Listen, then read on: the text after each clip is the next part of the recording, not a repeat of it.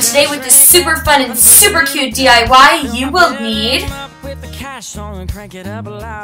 a ruler, some jewelry wire, scissors, fabric, a glue gun, and some extra glue sticks just in case you run out of other ones.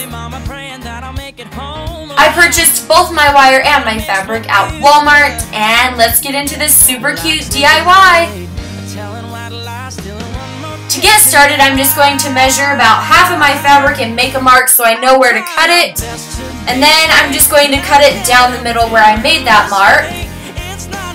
And lay aside the extra fabric to make a bun tie out of. It's very easy. Follow these instructions, just different measurements. Then I'm going to just crease my fabric as much as I can so that I will be able to get a nice um, flat cut and be able to insert the wire later on. I will measure about to my head, about where I feel like it should go, and leave a little bit of um, uh, leave a little bit of extra fabric so that we, because we will be cutting off more than we need.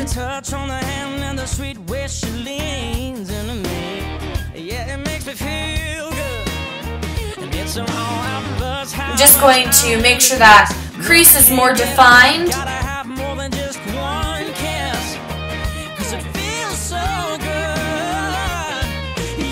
And hopefully my ruler will help me help me be able to get that crease as defined as I can.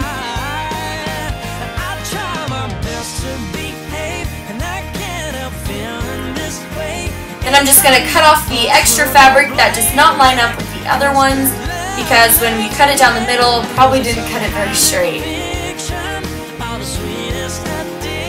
Then I'm just going to create a little cut diagonally on the ends so you can create the cute little bunny ears, as I like to call them. Then you'll just bend the wire in a circle so it doesn't poke through the fabric. You can also add some just like clear scotch tape or some duct tape at the ends to make sure that it doesn't poke through even more. Then you will add some glue on the edges and then you will fold down the fabric so it looks like you sewed it even though you didn't. This is my favorite part because it makes me look a lot more professional than I actually am. So this helps a lot. Then you will just fold it closed after all the edges are folded down and you will glue those all together. You want to leave one side open so you have a place to enter the jewelry wire into. That's what I'm doing here. It took me a while because I had added too much glue when I folded it down so it got stuck a little bit. So be super careful when you're gluing down the headband. After it's in, if you have any extra jewelry wire hanging out, you can cut it off and bend it down or just bend it down a few more times. And then you will just glue that end shut.